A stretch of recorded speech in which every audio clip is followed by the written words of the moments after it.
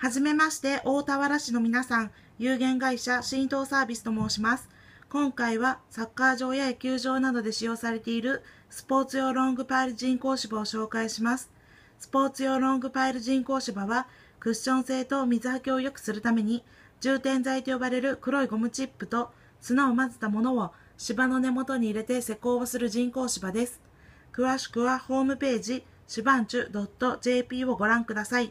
どうぞよろしくお願いします。